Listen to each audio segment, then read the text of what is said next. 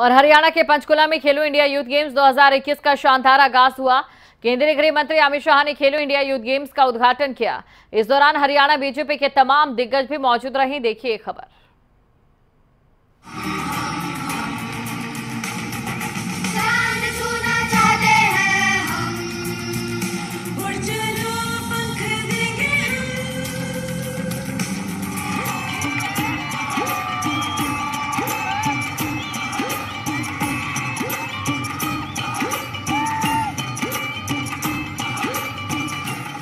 खेलो India youth games 2021 का वाकई शानदार आगाज़ हुआ।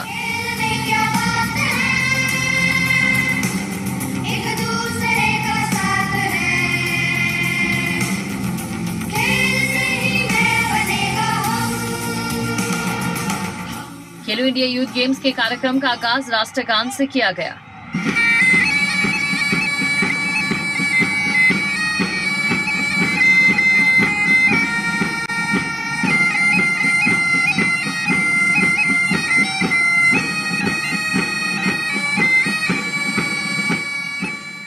पंचकुला के टाउ देवीलाल स्पोर्ट्स कॉम्प्लेक्स में आयोजित उद्घाटन समारोह में केंद्रीय गृह मंत्री अमित शाह ने बतौर मुख्य अतिथि शिरकत की।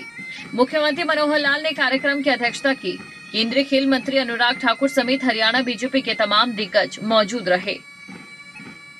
चार जून से तेरह जून तक, ये महज एक स्पर्धा नहीं, विश्व के पटल पर भारत के खेल जगत को और भारत के खिलाड़ियों को अहम स्थान पर पहुँचाने की एक सीढ़ी। Land of champions. हरियाणा ने जितने मेडल देश को दिए हैं, शायद ही किसी और राज्य ने दिए होंगे। और अगर मैं ये कहूँ कि हरियाणा की मिट्टी सोना उगले उगले? उगले कि ना उगले? हरियाणा की मिट्टी सोना उगले उगले साक्षी सानिया रानी रामपाल। हरियाणा की मिट्टी उगले नीरज चोपड़ा, बजरंग पुनी, पुनिया रवि दहिया।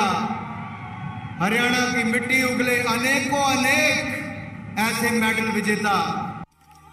इस दौरान पंचकुला के टाउ देवीलाल स्टेडियम में 200 से ज़्यादा विद्यार्थियों ने रंगारंग कार्यक्रम में प्रस्तुति दी।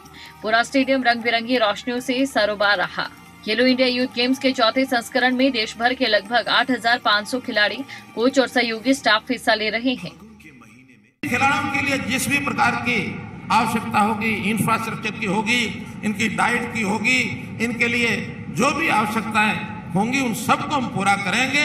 अभी जैसे पंचकुला ये हमारा इंटरनेशनल स्तर का एक जो स्टेडियम बना है खेल का जो परिसर बना है इसी प्रकार के परिसर हम धीरे धीरे चाहे वो गुरुग्राम है चाहे रोहतक है, हिसार है, करनाल है, शाहबाद में भी कुछ खेल खेले जाएँगे। अपने जो खेलो इंडिया के कार्यक्रम, अंबाला, शाहबाद, चंडीगढ़, हमारा जो पंजाब यूनिवर्सिटी है, वहाँ पर दिल्ली में भी कुछ खेल होंगे। ऐसे अब सब स्थानों पर हम जाकर खेल खेलेंगे। खेलो इंडिया के शानदार आगाज़ के साथ साथ हरियाणा की खेल नीति और खिलाड़ियों ने तारीफें भी बटोरी।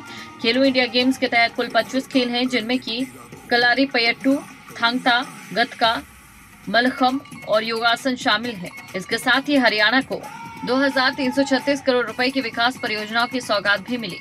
गृह मंत्री अमित शाह और मुख्यमंत्री मनोहर लाल ने लगभग नौ सौ सत्तानवे करोड़ रुपए की लागत से यमुनानगर में बनने वाले श्री गुरु तेग बहादुर साहिब राजकीय मेडिकल कॉलेज समेत दो और कॉलेज का शिलान्यास किया। इसके अलावा फतेहाबाद में 2800 मेगावाट गोरखपुर हरियाणा अणु विद्युत परियोजना के लिए जलापूर्ति चैनल प्रणाली का निर्माण की भी आधारशिला रखी गई। कुल मिलाकर खेलो इंडिया के आगाज़ का दिन हरियाणा के लिए वाकई खास रहा। तारा ठाकुर, पंचकुला, खबरें अभी तक।